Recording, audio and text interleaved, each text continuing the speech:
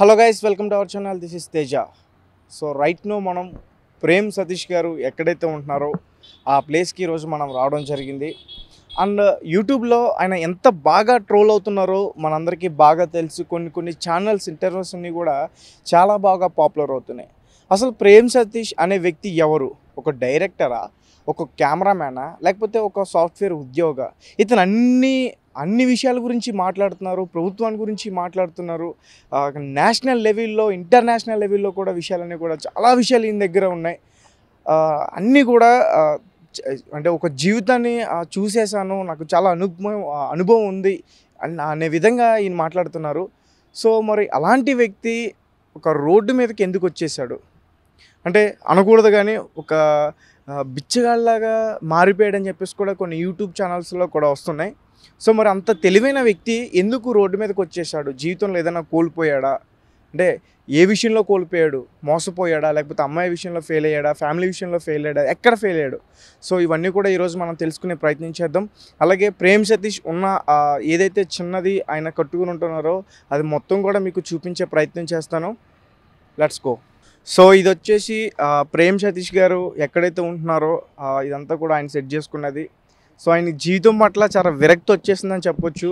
ఎందుకంటే ఆయన ఉండే విధానం చూస్తుంటే నాకేం అవసరం లేదు చిన్న టెంట చాలు నాకు నా దగ్గర భగవద్గీత ఉంటే దాన్ని డైలీ చదువుకుంటాను. నాకు నచ్చింది తాగుతాను సిగరెట్లు తాగుతాను నాకు నచ్చినట్టు బతుకుతాను. నన్ను ఇది చెయ్యొద్దు అని చెప్పేవాళ్ళు ఎవరూ లేరు. నాకు నచ్చినట్టు నేను బతుకున్నాను బతుకుతున్నాను అని చెప్పేసి ఆయన చెప్తా ఉన్నారు. అండ్ లాస్ట్ టైం కూడా ఆయన ఇంటర్వ్యూ కూడా మనం తీసుకోవడం జరిగింది. అప్పుడు బాగా ట్రోల్ అయింది. మీ అందరికీ బాగా తెలుసు. సో ఇప్పుడైతే చూసారు కదా ఇదైతే ఆయనకున్న చిన్న టెంట్. అట్లాగే ఇంకా ఆయన డ్రెస్సింగ్ డ్రెస్సెస్ కూడా చూపిస్తాను. దాదాపు ఆయన ఇప్పటివరకు వాడిన బ్రాండ్స్ అన్నీ కూడా అమెరికన్ బ్రాండ్సే ఇక్కడ ఇండియాలో ఉన్న షర్ట్స్ ఇండియాలో ఉన్న టీ షర్ట్స్ ఏమి వాడరంటే ఆయన. మ్యాక్సిమం అదర్ కంట్రీస్ బ్రాండ్సే వాడతారని చెప్తున్నారు. సో అది కూడా చూపిస్తాను మీకు.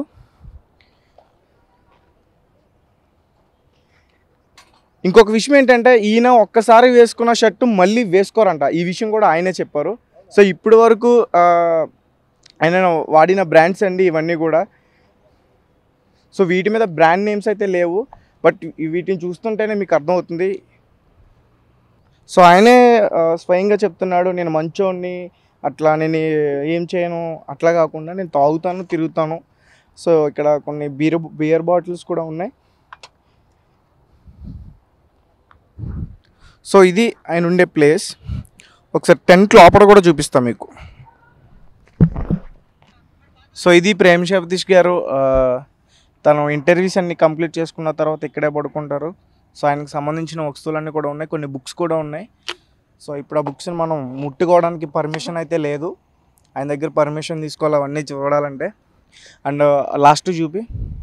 సో నేను చెప్పాను కదా భగవద్గీత ఆయన ఎక్కడైతే పడుకుంటారో ఆయన తలంపటే ఆయన భగవద్ భగవద్గీత కూడా అక్కడ పెట్టుకోవడం జరిగింది.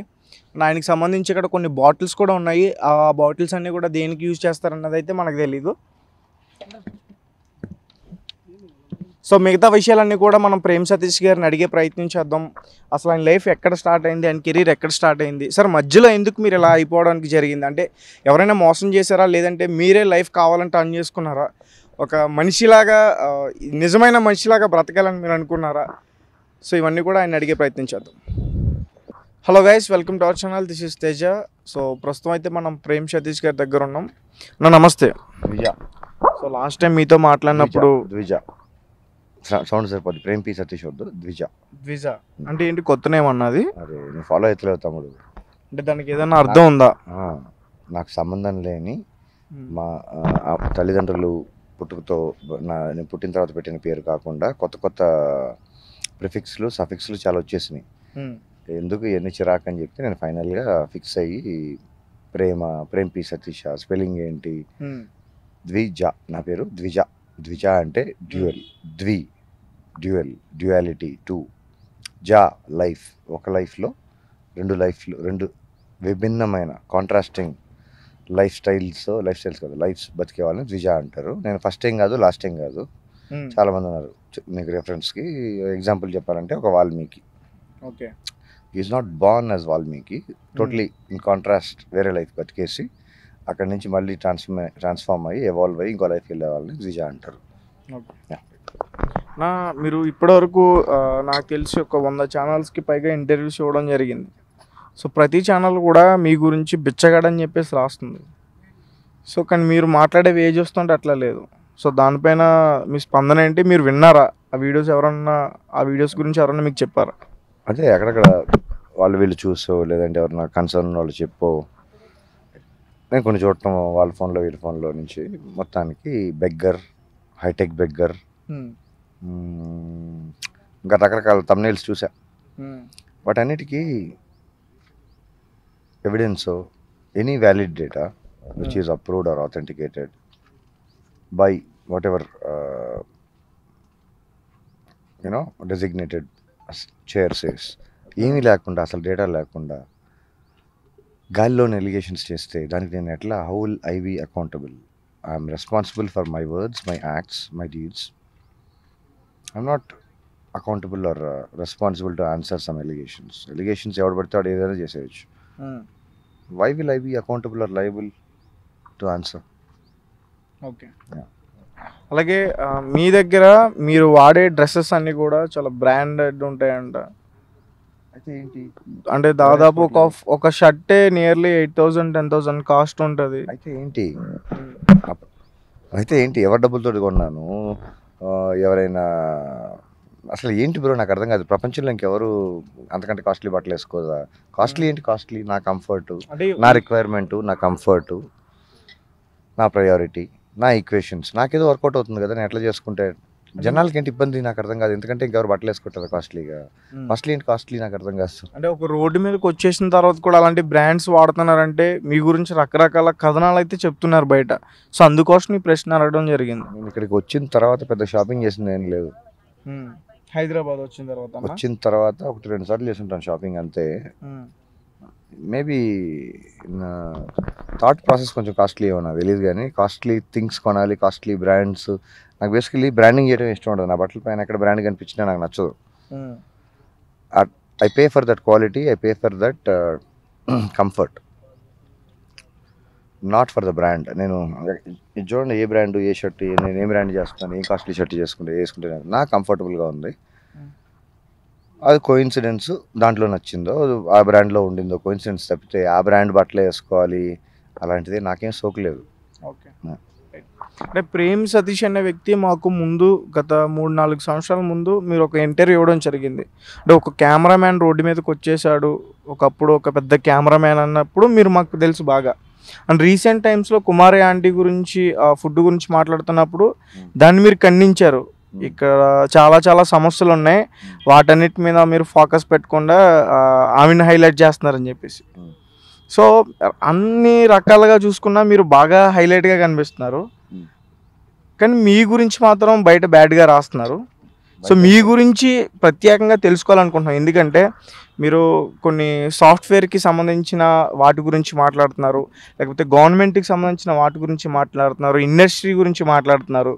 అండ్ అలాగే కొన్ని కెమెరాకి సంబంధించిన టెక్నికల్ పాయింట్స్ కూడా మాట్లాడుతున్నారు. సో ఇంత నాలెడ్జ్ అండ్ మేము కూడా భగవద్గీత చదువుతున్నారని కూడా విన్నాం. అది కూడా చూసాం మేము. సో ఇంత నాలెడ్జ్ అట్లా ఇవన్నీ కూడా ఒకే లైఫ్లో చేయడానికి మీకు ఎలా సాధ్యమైంది? నేను ఏం అచీవ్ చేశాను ఒకే లైఫ్లో సాధించడానికి ఐఎమ్ ఎక్స్ప్లోరింగ్. ఇప్పుడు ఒక మనిషి ఒక పని చేయడం మేబీ అది ఇండివిజువల్ పర్స్పెక్టివ్ మల్టిపుల్ రీజన్స్ ఉంటాయి దానికి. మల్టీ టాస్కింగ్ మల్టీ టాస్కింగ్ అంటారు కదా. ఒక మనిషి ఒక యాక్టివిటీ చేయడానికి ఇబ్బందిగా ఉండొచ్చు అంటే అందరికి అలా ఉండకపోవచ్చు. కొంతమంది రెండు మూడు పనులు ఇప్పుడు ఒక బిజినెస్ మ్యాన్ ఉన్నాడు అనుకోండి ఆయన కార్ డ్రైవింగ్ రాదా? ఆయన కార్ ఆయన డ్రైవింగ్ చేసుకుంటే ఆయన డ్రైవర్ ఓ అని చెప్పేసి సెపరేట్ క్రాఫ్ట్ అట్లా ఓకే డ్రైవింగ్ కూడా వచ్చు ఈయనకి స్విమ్మింగ్ కూడా వచ్చు ఈయనకి అట్లా రకరకాలు ఉంటాయి కదా హాబీస్ లైఫ్ స్టైల్స్ రకరకాల క్రాఫ్ట్లో ప్రవేశం ఉంటుంది కదా. సెపరేట్ ఎలా చేస్తాం? ఎవరి అవసరాలు ఎవరి పరిస్థితులు ఎవరి బేసికలీ అవసరాలు necessity is the mother of all invention అవసరం అయితేనే నే- ఏదైనా నేర్చుకుంటారు. భాష కానీ స్కిల్ కానీ ఏదైనా. మేబీ నా maybe I was exploring different crafts maybe I was exploring life maybe I was exploring opportunities ఆ ప్రాసెస్లో నేర్చుకోవడం జరిగింది కానీ అది నేర్చుకోవటానికి నాకు క్యూరియాసిటీ ఏం లేదు. అక్కడ అవసరం అవసరంలో నుంచి నేర్చుకోవాల్సిన పరిస్థితి. అంతే జస్టిఫికేషన్ దానికి. అంటే ఇక్కడ కొంతమంది సాఫ్ట్వేర్ ఉద్యోగులు కొన్ని కొన్ని ఆ, వాళ్ళకు టెక్నికల్ ప్రాబ్లమ్స్ గురించి మీ దగ్గరకు వచ్చి డిస్కస్ చేస్తారంట. అది నిజమా అబద్ధమా? మీరే చెప్పండి డైరెక్ట్గా అంత లేదు. నా- నా- నాతో ఎందుకు డిస్కస్ చేస్తారు? నాకంటే ఇంకెవరు లేరా? వాళ్ళు వాళ్ళకి వాళ్ళకి వాళ్ళు పని చేయడం చేత కదా? ఏదో అప్పుడప్పుడు ఒకనే ఓరే ఎక్స్చేంజ్ ఓవర్ కాన్వర్జేషన్ తప్పితే వాళ్ళు ఏదో ఇష్యూ చెప్పి నేనేదో సాల్వ్ చేసి నేనేదో అంత లేదు. ఓకే రైట్ అని ఇందాక నేను మీతో సరదా కూర్చొని మాట్లాడుతున్నప్పుడు గూగుల్ నుంచి నువ్వు కూర్చునే సంపాదించవచ్చు తమ్ముడు నువ్వు టైం వేస్ట్ చేస్తున్నావు నువ్వు ఇంకా యూట్యూబ్ మీద ఉన్నావు నువ్వు గూగుల్ని సరిగ్గా హ్యాండిల్ చేస్తే నువ్వు కూర్చొని సంపాదించవచ్చు అన్నారు. సో ఆ ప్రాసెస్ ఏంటి? అంటే నా ఒక్కడి గురించి కాదు రిమైనింగ్ మా సబ్స్క్రైబర్స్ కూడా ఉన్నారు కాబట్టి ఒకసారి దాన్ని క్లారిటీగా చెప్పండి. ఒకళ్ళు యూట్యూబ్ ఛానల్ పెట్టారు ఏదో కంటెంట్ చేశారు మెల్లగా ఎట్లాగో రకరకాల రీజన్స్ వల్ల అది వైరల్ అయ్యింది ఇంక మిగతా వాళ్ళందరూ ఇంకా అదే పట్టుకొని ముందుకి వెనక్కి పైకి కిందకి. అంతేనా? కంటెంట్ క్రియేట్ చేయాలి కదా ఒరిజినల్ అసలు ఏం క్రియేట్ చేస్తారో నాకు అర్థం కావట్లేదు. ఆల్రెడీ ఉన్న రిసోర్సెస్ ఉన్న ఆప్షన్స్ని వదిలేసి ఏదో ఒకటి దొరికింది కదా అని చెప్పి క్లారిటీ లేకుండా అసలు ఏం చేస్తున్నారో తెలియదు వాళ్ళకి ఎందుకు చేస్తున్నారో తెలియదు. దానివల్ల సమాజానికి కానీ అసలు వాళ్ళ కనీసం వాళ్ళకైనా వాళ్ళకి ఉపయోగపడుతుందా అంటే నాకైతే తెలియదు అందరి YouTube YouTube YouTube videos upload short films అదొకటే కాదు Google is a bigger company నేను అట్లాగని చెప్పి నేను బ్రాండ్ అంబాసిడర్ని కాదు స్పోక్స్ పర్సన్ కాదు గూగుల్ నుంచి మాట్లాడటానికి రిప్రజెంట్ చేయడానికి నాకున్న నా ఎక్స్పీరియన్స్లో there are many ways to you know depends అండి ఎవరి ప్రయారిటీ వాళ్ళకు ఉంటుంది